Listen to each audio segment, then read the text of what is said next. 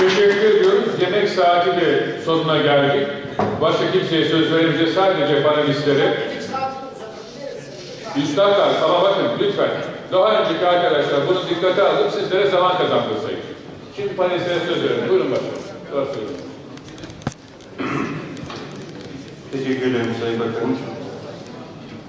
Bana e, herhangi bir soru yöneltilmedi. Sadece Suat Baydaş Üstad'ın yönetmelik ve tebliğlerle ilgili bir önerisi oldu. Ama öncelikle şahsından bahsederken TTK temsilcisi olarak e, ifade etmesi çok hoşuma gitti. Teşekkür ederim. Burada bulunma gerekçeni çok güzel ifade ediyor bu tabi.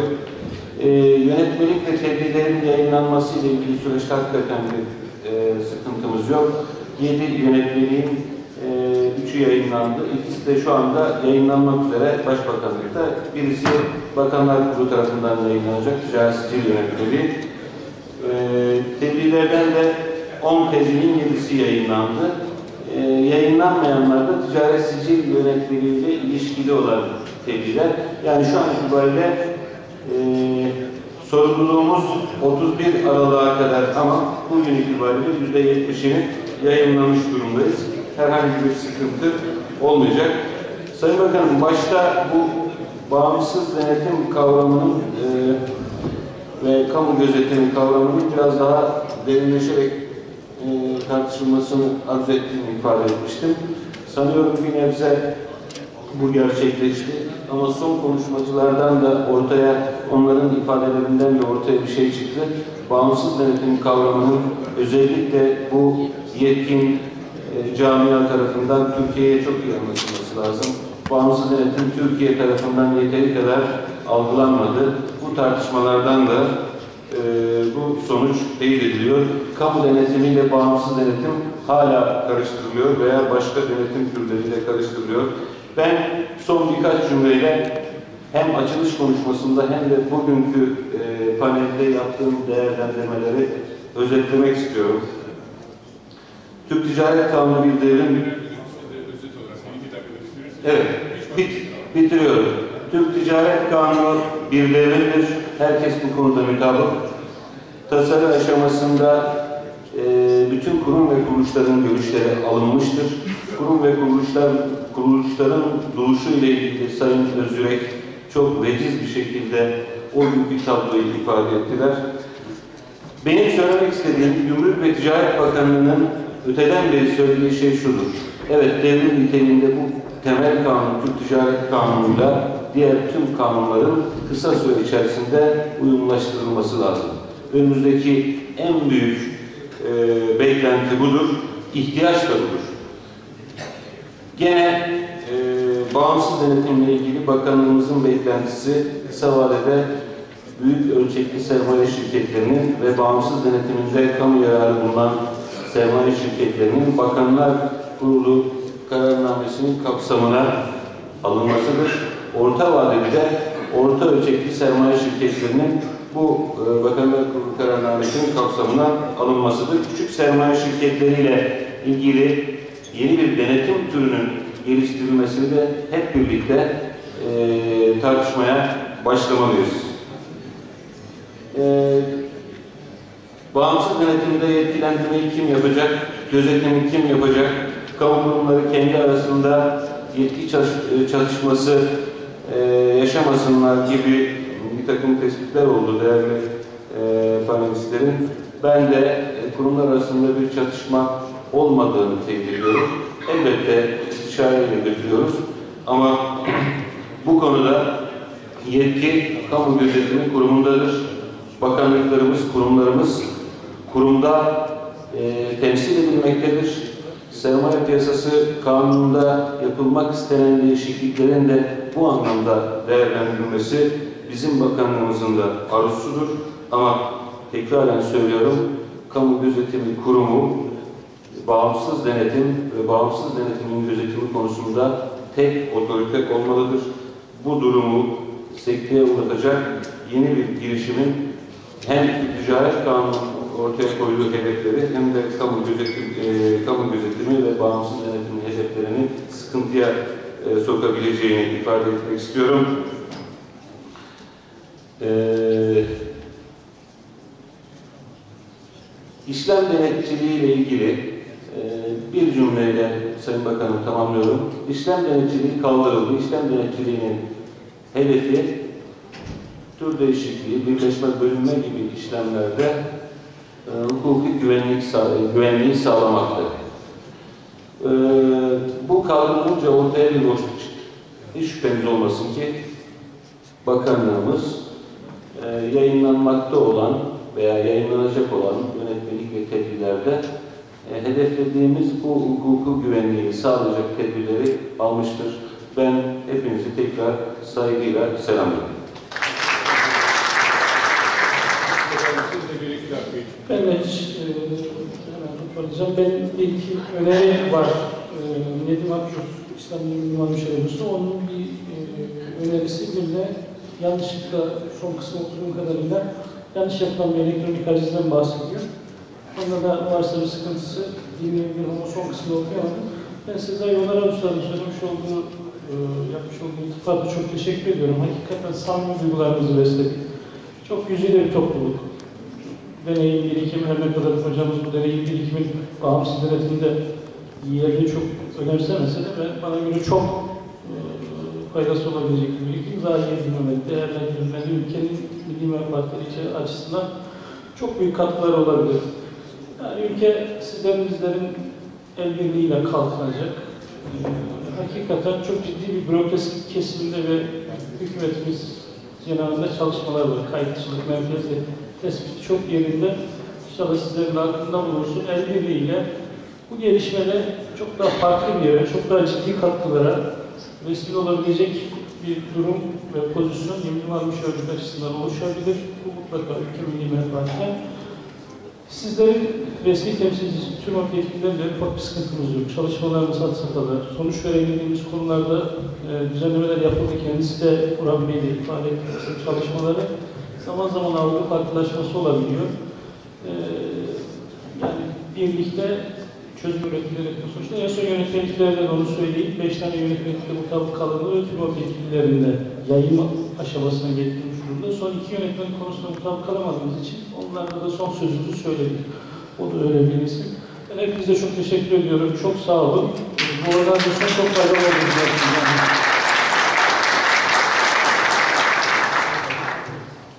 Sizin var mı? Yine bir iki dakika içinde sanıyorum. Sayın Bakanım, sorulara cevap vermek çalışacağım. Ee, KGK'yı beğenmiyoruz, bu yüzden meclise gönderdik. Hani yasa yapma sürecinde benim tecrübem sizlerin tecrübesi yanında çok küçük kalır. Ee, KGK lafıyla ilgili eleştirilerde kısaca KGK dedim de aslında uluslararası şeyden diğer STK'lar diyorum.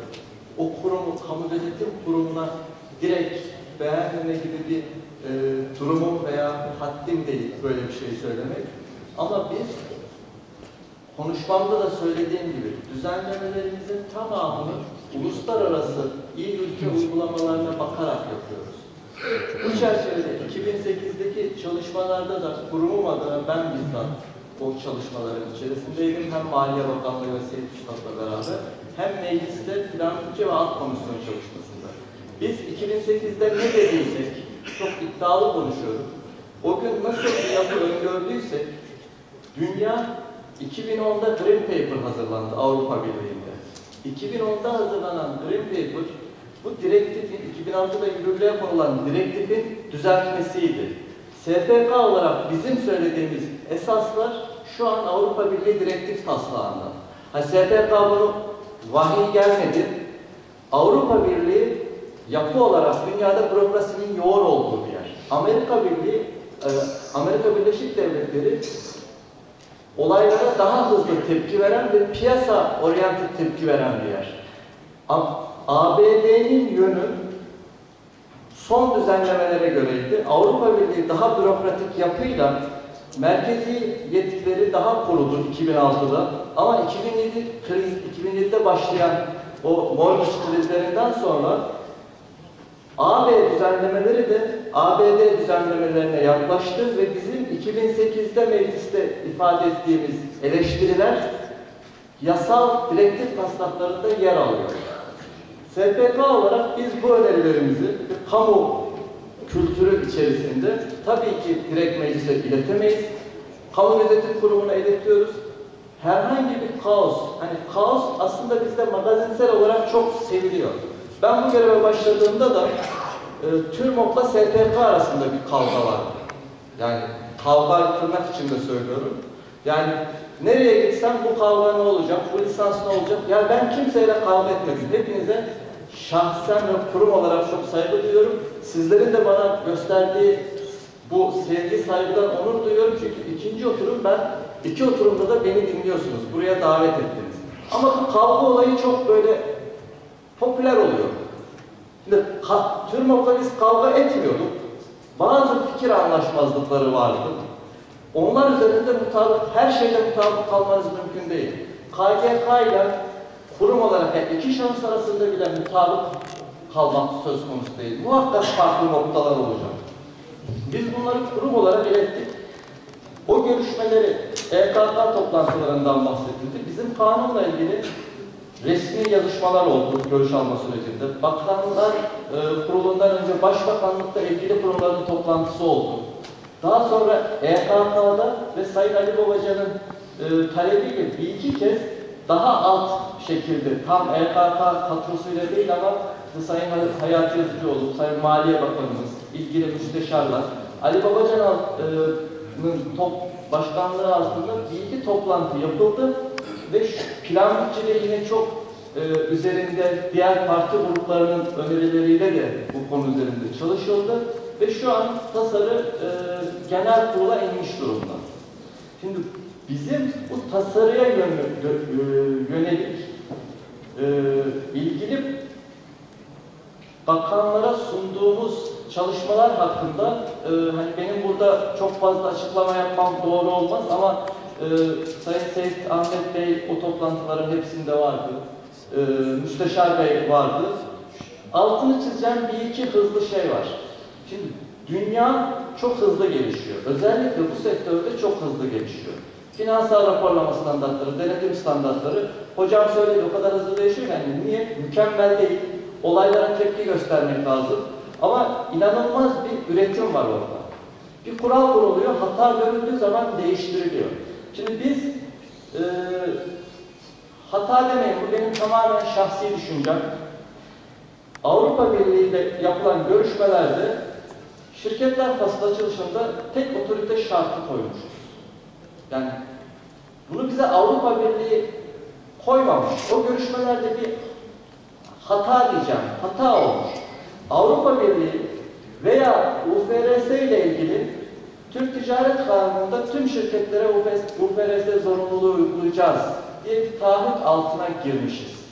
Hani bu bunu bizden kimse istemiyor. Ha, bütün şirketlerimiz UFRS kullanırsa, hani UFRS'ye uluslararası iyi ve kaliteli standart diyorlar. İyi ve kaliteli standartları herkesin kullanması muhakkak iyi bir şey. Ama bu Avrupa Birliği tarafından getirilen bir zorunluluk değil. Bakın Avrupa Birliği 8. direktifin mevcut hali. Bunun çevirisini TÜRMOK bir ara yayınlayıp internet sitesine koymuştu ama gelirken baktım göremedim. Onun bir örneğini alacaktım. 35. madde diyor ki üye ülkeler bu direktifteki görevleri yerine getirebilmek için bir veya daha fazla yetkin otorite görevlendirir. Bu üyelerden biri toplulukla ilişkiler ve koordinasyonla sorumlu görevlendirilir. Yani Avrupa Birliği ki Avrupa Birliği'nin bize bir şey empoze etmesi de aslında o dedi diye yapmıyoruz biz bunu. Biz daha iyi standartlara ulaşmak için yapıyoruz. Ama tek otorite diye bir şart yok. Yanlış bir konudan başlangıç yapıyoruz. Bahsettiğim 2010'daki e, Green Paper çalışması bununla ilgili İFAK bütün üyelerine, bütün kamu kurumlarına çok geniş tabanlı bir anket yapıldı. Sonuçlar 2011'de yayınlandı. Detay taslak çalışmalarına baktığımız zaman bugün 8. direktifin yerine konulacak bir e, taslak var. Komisyondan henüz geçmedi. Diyor ki kim yetkili otorite olabilir bunu açıklıyor. Üç tane kurum sayıyor. Bu üç kurumu isim olarak saymıyor. Nitelik olarak sayıyor. Bu niteliklerden ikisi sermaye piyasaları, finansal piyasalar otoritesi, Birincisi de 8. direktifte be- belirtilen münhasır otorite. Yani Türkiye örneğinde KYK. Bunlardan üçü olabilir diyor. Ama topluluk düzeyinde de diyor yeni bir madde var. Bu görevlendirilen otoriteler topluluğun sermaye piyasası diyeceğimiz ESMA, European Securities Market Authority ile or- ortak çalışmak zorundadır. Şimdi biz bunu ben bireysel olarak dilim döndüğünce anlatmaya çalışıyorum. Kurumumuz da bunu ilgili makamlara anlattı ve bunun sonucunda ilgili tarafların da oturup anlaştığımız şekilde e, siyasi otoritenin kararı, Bakanlar Kurulu'nun kararıyla meclise şu anki kanun tasarısı gönderildi.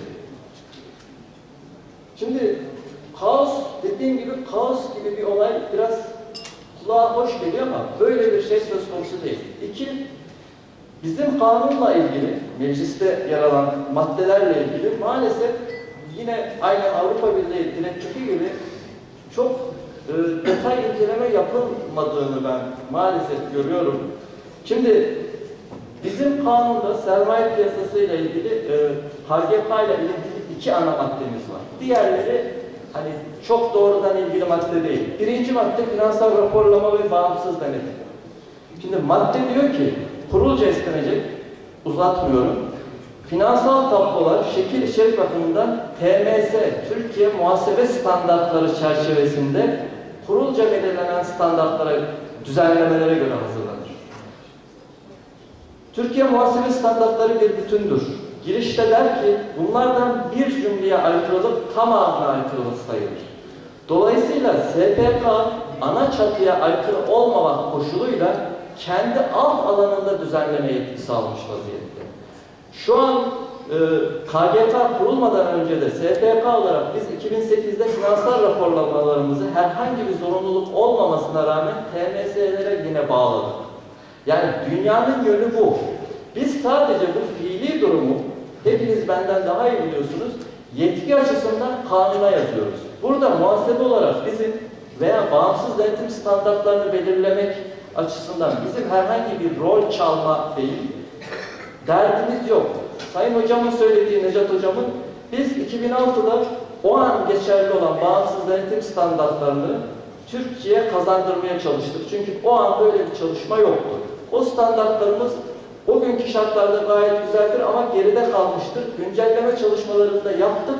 Fakat KVK kurulduğu için yayınlamadık, onları bekliyoruz. Neticede onlar o standardı yayınladığı zaman yine bu 14. maddenin devamında der ki bu kanun uyarınca listeyen bağımsız denetim kuruluşları Türkiye denetim standartları çerçevesinde gerekçe de bu KGK tarafından belirlenecek standartlardır.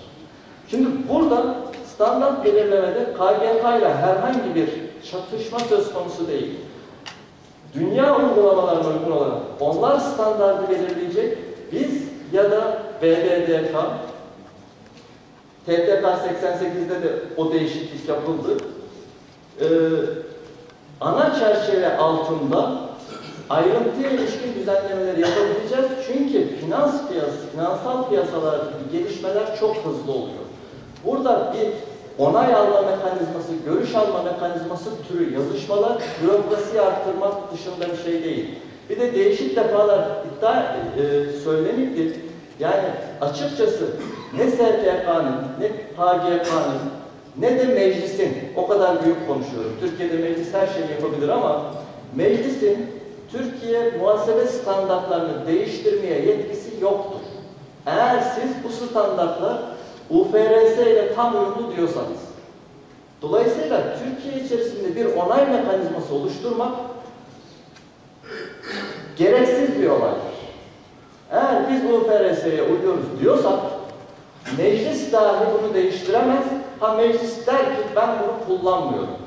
Ama çünkü değiştirdiğiniz an uluslararası çevreler der ki Türkiye'de UFRS kullanılmıyor. Olay bitmiştir. O nedenle bizim buradaki şeyimiz KGK'nın belirleyeceği standartlara alternatif bir standart değil, sadece ilke bazından bahsediyoruz. İlke bazlı düzenlemelerde ihtiyaç duyulursa, ivedi bir şekilde alt düzenleme yapma ihtiyacı olursa onu yapmak için alınan bir kanuni yetki.